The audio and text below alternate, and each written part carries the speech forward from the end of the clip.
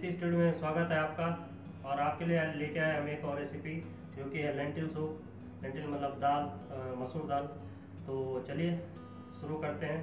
तो इसके लिए चाहिए हमें ऑलिव ऑयल हमने डाला हुआ है। थोड़ा सा और डालेंगे और हमें चाहिए होगा थोड़ा जीरा। जीरा डालेंगे। हल्का होने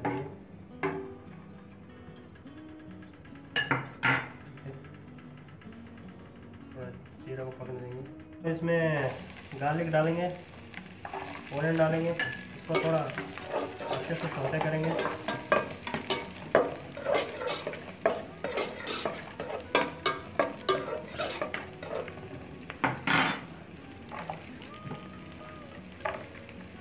डालेंगे इसमें और लीक सैलरी डालेंगे। नक डालते हैं, इसमें थोड़ा आलू डालेंगे हम। और, हमारा ऑनियन, गार्लिक लीक भी थोड़ा पके हो चुका है अच्छे से। तो आलू डालेंगे इसमें आलू थोड़ा फ्लेवर के लिए डालते हैं और थोड़ा स्टार्ट और ये जो थिकनेस बढ़ेगा इसका, आलू डालने से थोड़ा टेस्ट भी आएगा। और देखिए, हमारा जो ये आलू है थोड़ा बहुत पक गया है। अब डालेंगे हम इसमें दाल मसूर दाल जो काफ़ी अच्छी भिजी हुई है। तो डालेंगे हम इधर पॉट में। और अब करेंगे हम इसको सोते करेंगे थोड़ी देर पकाएँगे इसको। हाँ, ये लेंटिल काफ़ी अच्छे से सॉर्टेड हो गया है।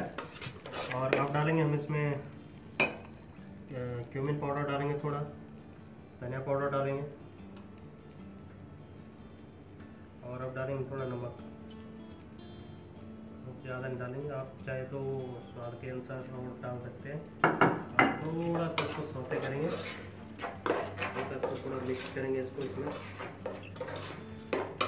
और अब डालेंगे हम इसमें पानी डालेंगे। और इसको पकने देंगे करीबन पंद्रह से बीस मिनट तक। बीस मिनट में ये पक जाएगा। तो दोस्तों, देखिए बॉयल हो चुका है अच्छी तरह। आलू भी अच्छी तरह पक गया है। और आप करेंगे हम इसको, आप, हम इसको ब्लेंडर में इसको पीस देंगे। और फिर आपको बताएँगे कि कैसे सी प्लेटिंग करनी है। तो चलिए, फिर हम इसको करेंगे। ब्लेंड हाँ ब्लेंड करने से पहले एक बार इसको ठंडा ज़रूर करें, ताकि अच्छे से ब्लेंड हो जाए, क्योंकि गरम गरम करेगा तो मिक्सर के फटने के चांसेस रहते हैं। आप ठंडा होकर इसको ब्लेंड करें। हमारा ये जो सूप है, वो ठंडा हो चुका है, और अब डालेंगे हम इसको मिक्सर में ब्लेंड करने के लिए।